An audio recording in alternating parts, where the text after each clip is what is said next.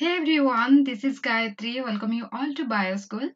Today I am going to solve some previous year CSIR NET questions from pedigree analysis. I will solve each questions and give you tips and tricks. So guys, please watch this video till the end and at the end of this video, believe me, you will get some ideas to solve questions from pedigree analysis. If you want to know the basics of pedigree analysis and what are the symbols used and the mode of inheritance, I will drop the link in the description box down below. So please make sure to check that video too. So let's begin. This is the first question. The pedigree below represents the inheritance of an autosomal recessive trait. What is the probability that individual 6 is a heterozygote? In this pedigree chart, it is asking that what is the probability that this individual 6 will be heterozygote okay and the mode of inheritance is mentioned here it is the autosomal recessive trait Always remember that if it is an autosomal recessive trait, then it should be present in a homozygous condition, right? Okay, it will be in, in this homozygous format. So, the individual 7, small a, small a. That means 1a is present in one parent and another small a it is present in another parent.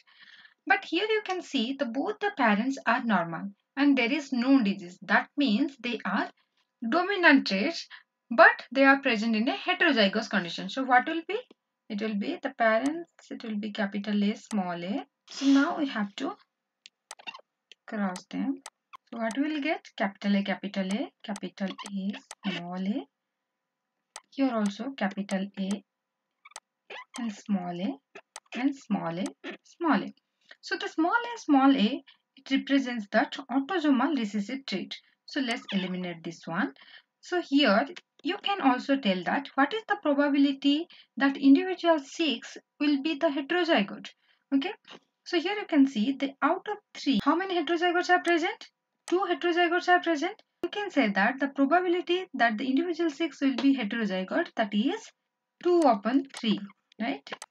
It is the chance that individual 6 will be heterozygote. So which one is the correct answer? The correct answer is option C. Okay, let's move to the next question and solve it. Next question is following are four modes of inheritance.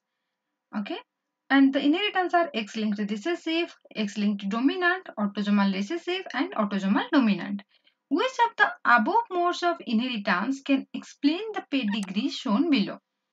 Okay, so we have to know that this pedigree is showing which mode of inheritance. So let's solve this question.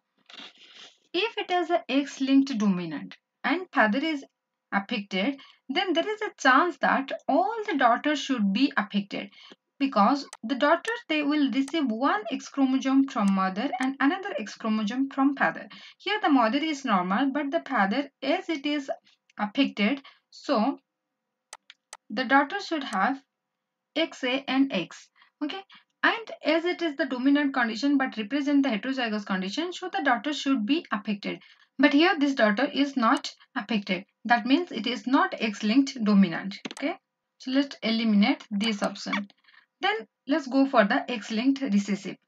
If it is a case of the X-linked recessive, here you can see the mother is affected. Okay. X-linked recessive and mother is affected. So the case is like this. And all the recessive case, it will be represented as homozygous condition. It is the mother showing X-linked recessive trait. Then, then here the son should be affected because the son will get one X chromosome from the mother and Y chromosome from, from the father so that the son should be affected because in the male there is no um, homozygous and heterozygous condition as it is only one X chromosome. If it is present like this XA, so that means the son should be affected. So what do we concluded here? We concluded here that this is not the case of X-linked recessive also. So let's eliminate that option too. So either it will be autosomal recessive or it will be autosomal dominant so let's first see it as a autosomal dominant. Okay. If it is an autosomal dominant, so let me write it down. First write down as A. where it is affected just write down the capital letter A we don't know either it is a homozygous condition or heterozygous so first we have to write it a capital letter A where the individuals are affected then and we are considering that autosomal dominant and those individuals are unaffected. They should be present in the recessive condition. The first individual it will inherit small a from the mother. And this individual is also capital A and small a. So if the, these individuals are small a, small a and capital A, small a, so this will inherit this individual it will inherit one capital A from this mother and one small a from the father. And this individual either it will be capital A capital A or it will be capital A small a. So you can see here that this is showing the condition of autosomal dominant right? If it is autosomal dominant capital a small a then it is a heterozygous condition. It will express the trait okay here also in heterozygous condition it is, it is expressing a trait similar the case of over here also. So this pedigree chart it satisfies the autosomal dominant. Let's see the autosomal recessive. So if you are looking this pedigree inheritance as an autosomal recessive trait then autosomal recessive trait means it will be in always it will be in homozygous condition. So first just put that the affected individuals as small a small a and all the unaffected individuals they may be present in homozygous condition or they may be present in heterozygous condition. But here you can see the individual the, this individual it is affected. That means it is it inherited one a from the father and another a from the another small a from the mother right? Though she is uh, unaffected but she is in heterozygous condition. Okay? You got it okay in the next step this individual is a female and this female is unaffected. Unaffected means she has also heterozygous condition. And the male also in heterozygous condition. Okay we got it?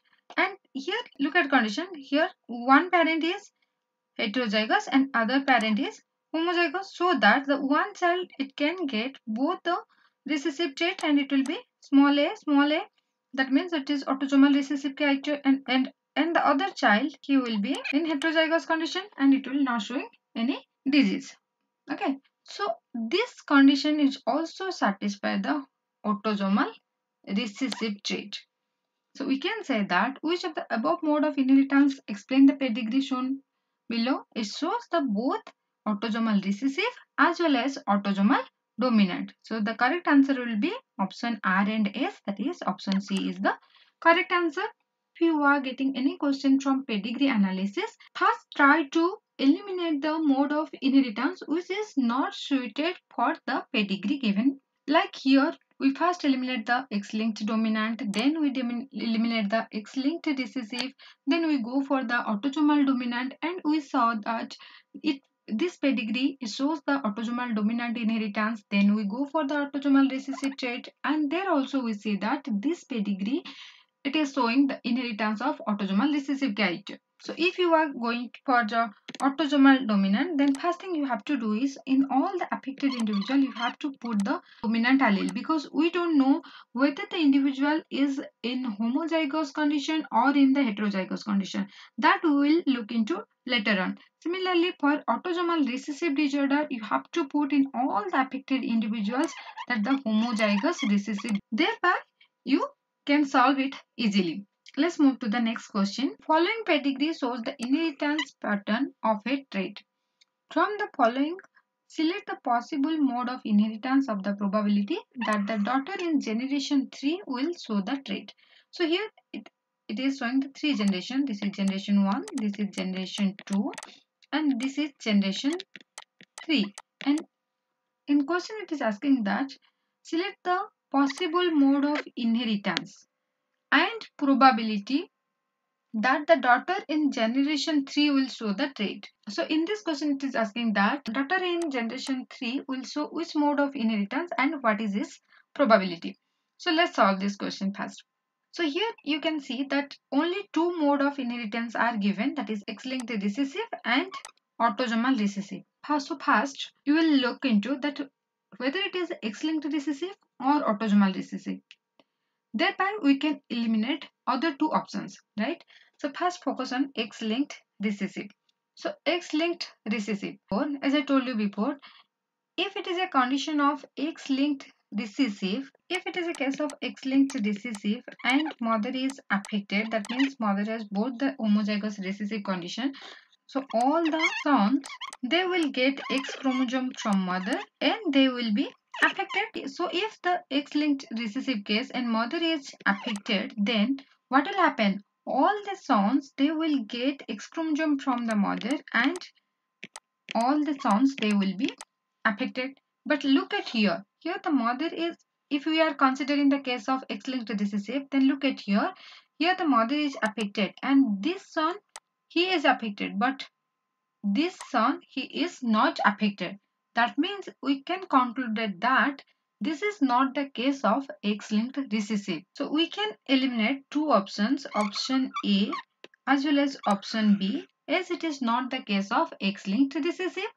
Okay, how can we know? We know that if X-linked recessive condition and mother is affected, then definitely all the sons they will be affected. Affected, but here it is not the case. Okay, so the option C or option D will be the correct answer.